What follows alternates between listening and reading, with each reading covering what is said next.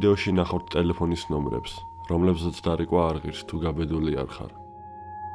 მათი უმრავლესობა საკმაოდ შემზარავია.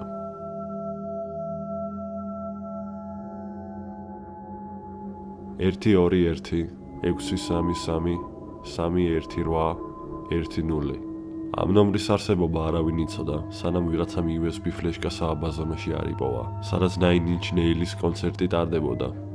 ფლეშკა შეიცავდა აუდიო MP3 ფაილს, რომელსაც ერქვა 2432. როდესაც ეს ჩაირთვება, თქვენ გაიგებთ ჭრიჭინების ჭიკჭიკის ხმას. ეს თავდაპირველად უცნაური იყო, მაგრამ დროთა განმავლობაში უფრო უცნაური გახდა, როდესაც აუდიო სპექტროგრამაზე გაუშვეს, რომელმაც გამოაჩინა მისტიური ციფრები. ეს ციფრები ტელეფონის ნომერი აღმოჩნდა და როდესაც ადამიანი ამ ნომერს კრებდნენ, მათ ეს მუდად დედას და შვილის ლაპარაკი. თუმცა ეს ჩვეულებრივი ლაპარაკი არ არის. ამის მაგივრად არის შვილი, რომელიც დედას ურეკავს და მის შემზარავ სიტუაციაზე ესაუბრება, რომელშიც ახლა იმყოფება. სჯობს თქვენ თვითონ მოусმინოთ. Hello? Mommy! Mommy! Mommy, over there! Oh my god, I'm at the club! Get me out of here! I, I'm gonna die! Mia! Oh my god, you're gonna die! Mia! They killed Joyce. I locked myself in the stock room. But now I can't get out and everybody's got it. What's going on? ბევრი ამბობს, რომ ეს ჩანაწერი 9 inch nail-ის ხარდაჭერისთვის შეიქმნა და რომ ეს ჩანაწერი ყალბია. მაგრამ ასევე ხალხის დანარჩენ ნაწილს ჯერა, რომ ეს ჩანაწერი ნამდვილი სატელეფონო საუბარი იყო. ყალბია თუ არა ეს მაინც შემზარავია. 090 44 44 44 სამწუხაროდ ამ ნომერზე ვერ დარეკავ თუ იაპონიაში არ ცხოვრობ. თუმცა თუ იაპონიის ქვეყნის კოდს გამოიყენებთ, რომელიც 81-ია, შეძლებთ დარეკვას. ადამიანების აზრით ეს ნომერი დაწყევლილია, რადგან ნომერი ეკუთვნის პიროვნებას, სახელად სადაკოს. ვინც ამ ნომერზე დარეკა, თქვენს რომ ეს მოდად სისხლის წვეთების და სხვა შემზარავი ხმები. ადამიანები იუწყებიან, რომ ამ ნომრის საკრეფის შემთხვევაში ავტომატურად იწყევლები და 7 დღეში კვდები. მაგრამ ასევე ამბობენ, რომ ეს ნომერი შეიქმნა იაპონური კინოს ზარის გასაპირებლად, რომელშიც არის პიროვნება სადაკო. შესაძლებელია ამ ნომრის არსებობა ამასთან იყოს დაკავშირებული. თუმცა ეს მხოლოდ ვარაუდია.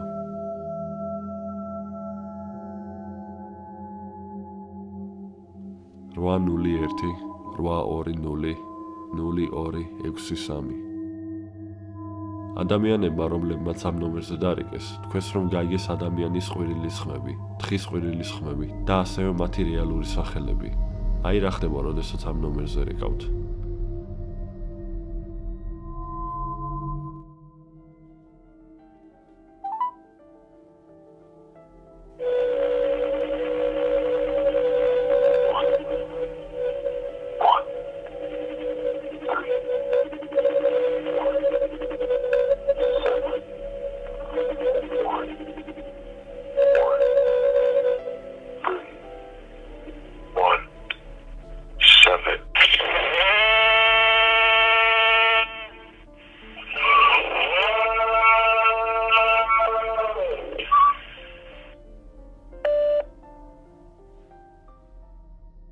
პირველ რიგში მინდა აღნიშნო, რომ ჭორი, რომლის თანახმადაც ადამიანები თავიანთ სახლებს გებულობენ, ტყუილია და ყოველი დარიგვის დროს ერთი და იგივეა. დარწმუნებული ვარ, გაიგეთ ციფრები, რომელსაც ყურმში კაცი ამბობს.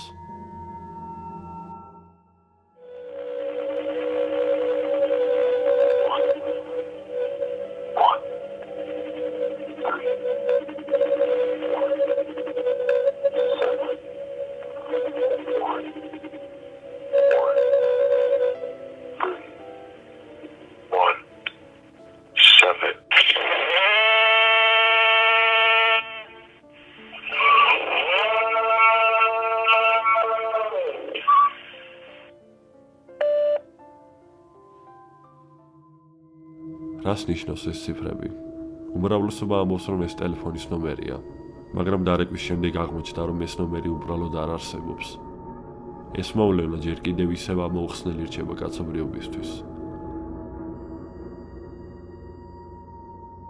0888 888 888 ბევრი საზრით ეს ნომერიც ასევე დაწყევლილია. რადგან ვისაც ეს ნომერი ჰქონდა, ყველა გარდაიცვალა. პირველი პიროვნება, რომელსაც ეს ნომერი ჰქონდა, დაიღუპა კიბოთი 48 წლის ასაკში. მეორე იარაღით მოკლეს. ასევე მესამეც და მეოთხეც იგივე მიზეზით. დღესდღეობით ამ ნომერს არავინ ხმარობს და არც ტელეფონის კომპანიები აღარ გასცემენ. მაგრამ ამ ნომერს დარეკვა მაინც შესაძლებელია. ხოლო დარეკვის შემდეგ არის ჩაწერილი ხმა, რომელიც ამბობს, რომ ნომერი არის ქსელის ფარგლებს გარეთ. ეს არის ერთ-ერთი ყველაზე საშიში ნომერი მთელს გარშემო. და თუ ცრუმარწმუნე ხარ და დაწყევლის გეშინია, სჯობს ამ ნომერზე არ დარეკო. 1 2 0 7 4 0 4 2 6 0 4 საშინელებათა ფილმი ქერი რომ პოპულარული გაეხადათ, განამღებმა ჯგუფმა ტრეილერის ბოლოს სატელეფონო ნომერი აჩვენა. მიუხედავად იმისა, რომ ბევრმა მოზარდმა დარეკა ამ ნომერზე, მათ არ შეეშინდათ რაც ტელეფონში გაიგეს, მაგრამ ბავშვები კი აშკარად შეშინდნენ. ამ ნომერზე დარეკვის შემთხვევაში სამზარს იღებ სხვადასხვა ნომრისგან.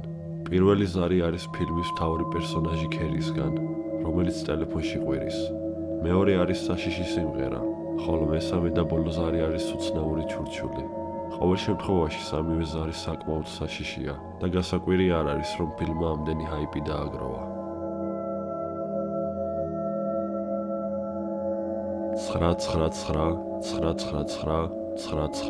999999999 როდესაც ქარს ამ ნომრისგან გამოტოვებული ზარი ჰქონდა მან ბლოგში იკითხა თუ ვინმე მიცოდა რაიმე ამ ნომრის შესახებ შემდეგ გაირკვა რომ იგივენაირი ზარი სხვებსაც მიუღიათ ამ მისტიური ნომრისგან ამის გაგების შემდეგ ქალმა განაწყვეტა ნომრის აკრეფა და დაარეკვა, რომ გაიგო თუ ვინ იყო.